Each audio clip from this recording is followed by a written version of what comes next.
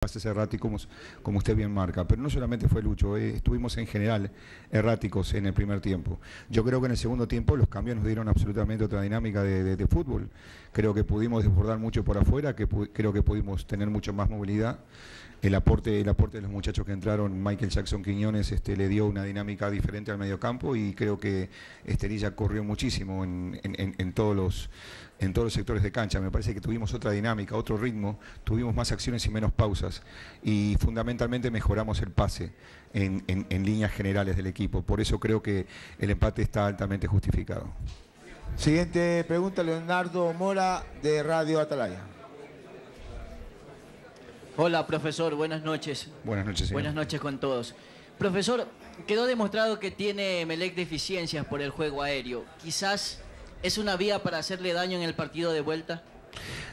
No todos los partidos son iguales. Este, siempre uno encuentra errores o aciertos en, todos los partidos. Es la magia del fútbol. Nosotros este, sí apostamos mucho al juego eh, aéreo porque tenemos los jugadores y la condición de eso. Inclusive el profesor Osvaldo Canovio trabaja muchísimo, muchísimas horas a la semana eh, con, el juego de pelota quieta. Es algo que nosotros hemos hecho durante todo el semestre. Este, no, sabría si decirle si tiene deficiencias el, cuadro de Melec. Sí sé que nosotros tenemos potencia, tenemos buen pie para, trabajar eso y lo aprovechamos al máximo.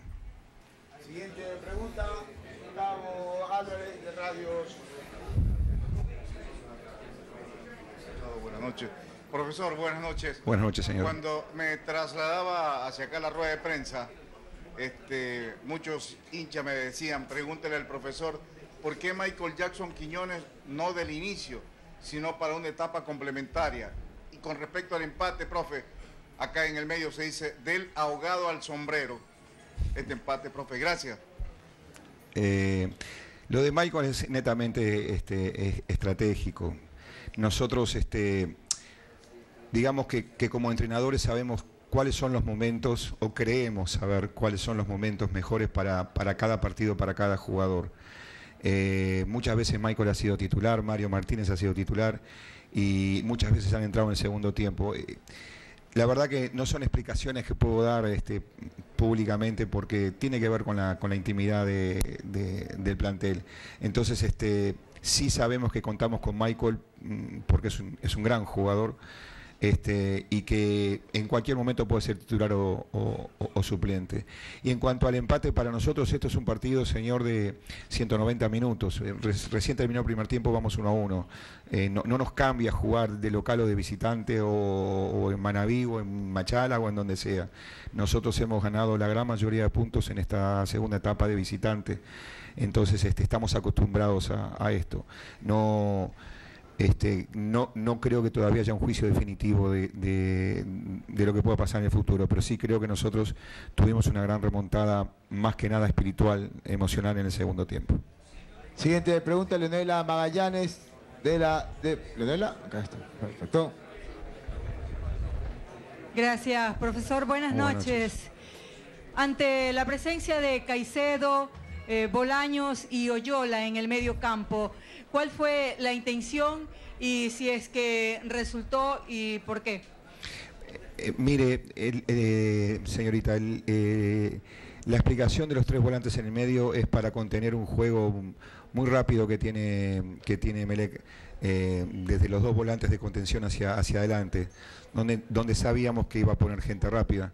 Este, y tienen un juego de eh, de entendimiento de mucho tiempo, este, que lo hacen muy bien.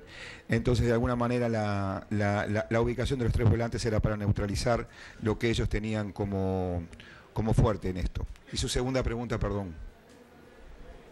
Me, me complementó la pregunta con otra...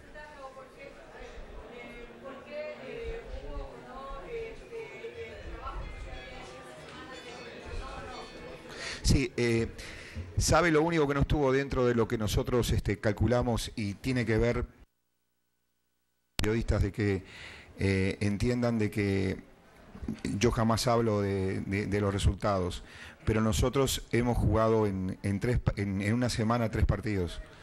Este, y a veces eh, eh, la coordinación, la motricidad se altera por, por el cansancio que se acumulan. No fueron tres partidos sencillos, fueron tres partidos donde jugábamos en dos, en tres y en cuatro canchas.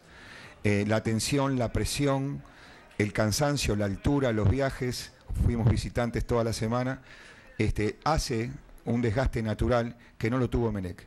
Emelec tuvo la posibilidad de descansar el equipo y recién el domingo vamos a estar igualados en cuanto a presión, en cuanto a tensión y en cuanto a cansancio. Y eso hoy a nosotros nos pasa un poco nos, la, la factura.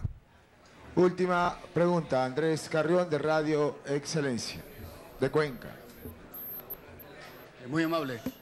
Profesor Israel, buenas noches. Buenas noches, Eh, en resumen, profe, ¿es un empate con sabor a victoria, un empate con sabor a empate, un empate con sabor a derrota? ¿Cuál es su opinión? Es que en una final, eh, hasta el último minuto, no hay, un balance.